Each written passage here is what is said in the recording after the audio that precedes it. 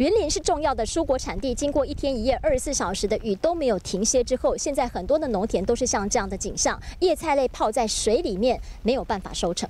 对无有啊，伊对这这烂烂蛋掉啊，啊，就无咋收啊。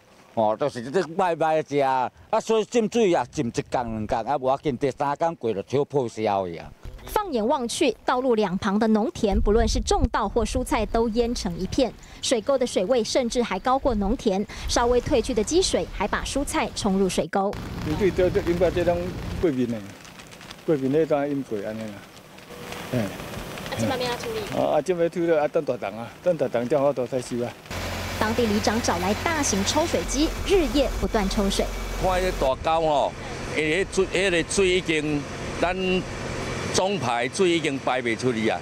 哦，啊，你如果也无这台抽水机吼，差不多即马拢卡头有的水啊。靠海的口湖乡地势更低，只要涨潮遇到大雨，就会变成这样，看不到路面。